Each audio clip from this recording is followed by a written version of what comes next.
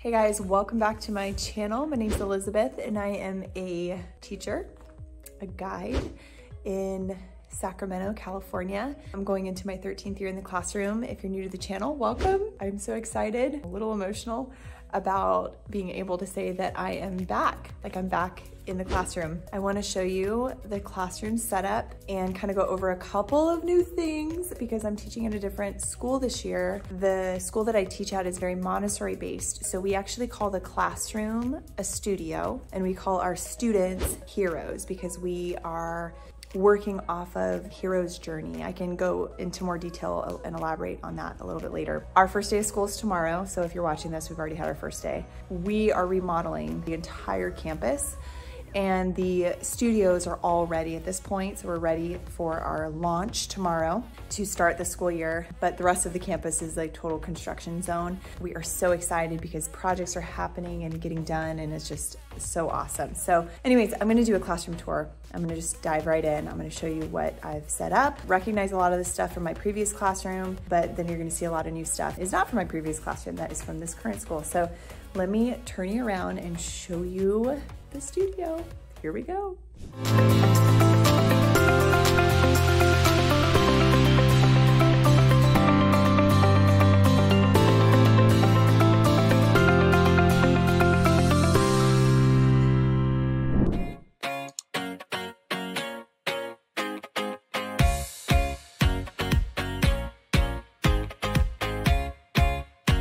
So why don't I start with this little space so this is kind of my teacher desk and it's super crowded. These are bins that I'm gonna use for tomorrow for supplies, to sort and organize supplies.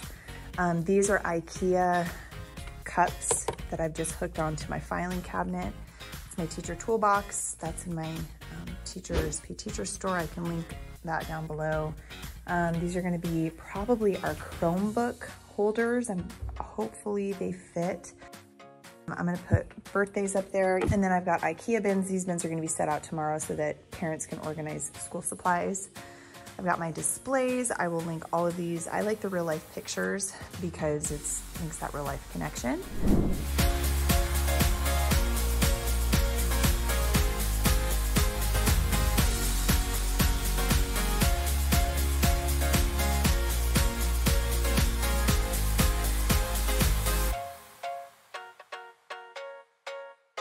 These are gonna be, these are bins from Walmart and I've got them numbered. Um, and these are just gonna be assigned to a student. So this is gonna basically house their portfolios and SEL binders and um, kind of act as like a portfolio bin.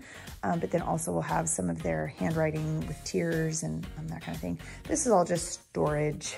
This is like the community supplies area. So right now everything's kind of empty, but we're gonna be putting supplies in here so that the heroes can just come up and grab what they need. I've done that years past and I feel like that's just the most efficient way. And then I also have this crayon organizer. I got these from Hobby Lobby and I just organize them by color. Um, these are all my crayons. Students are gonna be coming tomorrow with a bunch of their crayons and so we'll organize all of that. This year, so these are stickers, stickers, just storage, these are melty beads. Years prior, I've used this as an incentive wheel. I have it. I'm not sure how I'm gonna use it this year. I'm gonna ask the heroes what they wanna do with that. And then this year, I had some parent volunteers come in and organize my library. So I just made stickers for each of the shelves and then put a sticker on each of the books. And I didn't do this, they did this. I still need stickers for all the books down here, but that's that. So oh my goodness, this is like my favorite area. Okay, I'm gonna go into this in more depth and detail. Diane Alber, who's the author behind all of the Spot series books. So all of these um, sent me her curriculum for um, SEL, for social emotional learning, and all of the books and the flashcards and all of the plushies and, and everything. And we've got a mirror here and um, all the posters for all the different emotions. And so this is gonna be basically kind of like a calming corner.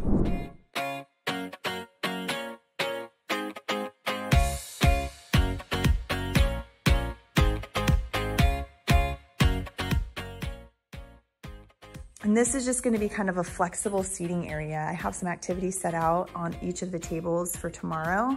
My chairs are not up yet, but um, but this area, for the most part, is just gonna kind of be flexible seating options. So they can take a pillow. Um, we are waiting on the rug. Some of the items from that had to be shipped overseas are just on back order because of the pandemic. And so um, there'll be a rug here. I put some growth mindset um, positive mindset, retrain your brain posters up. Those are from Lakeshore. Pillows are from Lakeshore from back in the day when I did, I was a Lakeshore ambassador. So they actually sent those to me along with that chair. That was a couple years ago. Um, more books. So we've got different categories, numbers and cultures and bugs educational, free reading. So there's just lots and lots of books. These are all books that I've purchased from Goodwill. You guys, it's like the best place to get books in my opinion. We went through and I think I have about 500 books.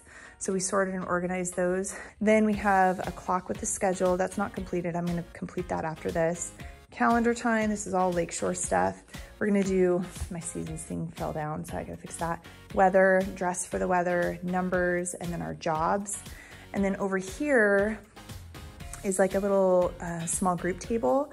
On this entire wall is going to be a white board. So we're waiting on those to come in. That's one of the things that was on back order. Um, this is a hundreds chart and I love these. Um, it's basically a puzzle. So you know like the pixel art puzzles? So like you'll put number 90 on number 90 on there, and then you basically build a picture. So this is a resource that I made with my friend Deedee Wills. I'll link it down below. So then I have these rolling shelves and because we are Montessori based, there's just a lot of like sensory, um, you know, sensory sand, activities that are in trays that they can kind of choose. You'll notice some of these are resources that I've made.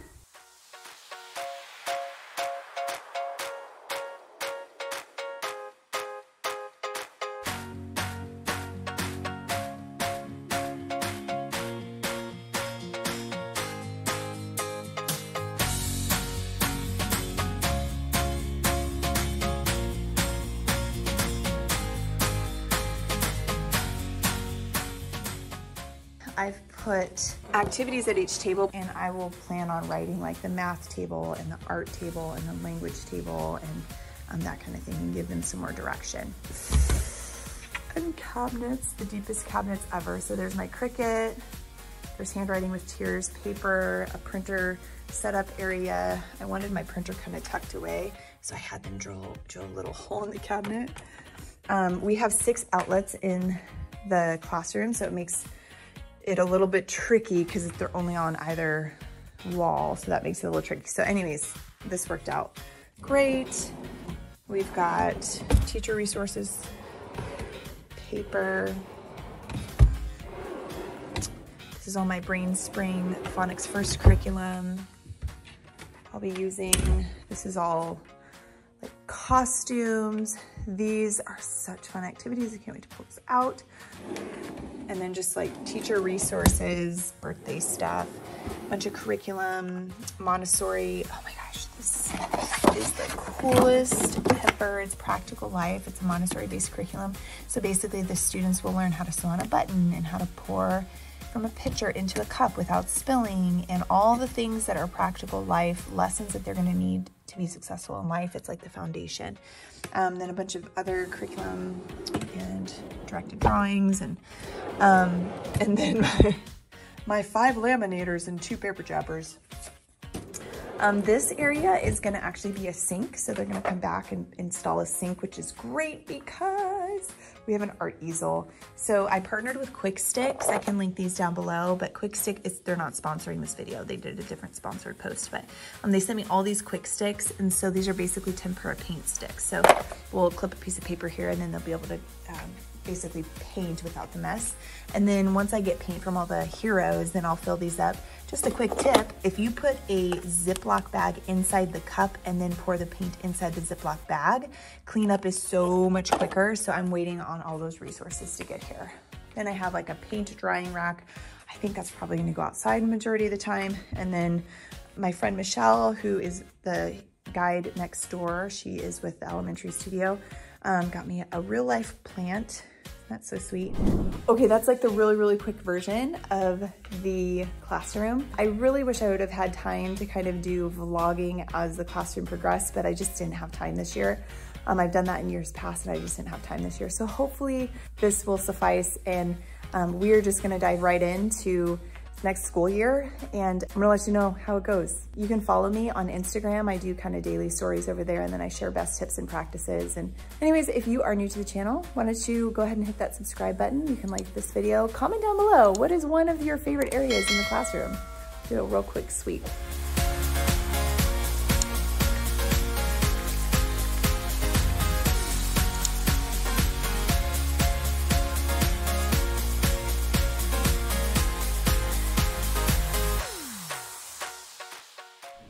All right, guys, that's all I've got for you today. I will see you in the next video.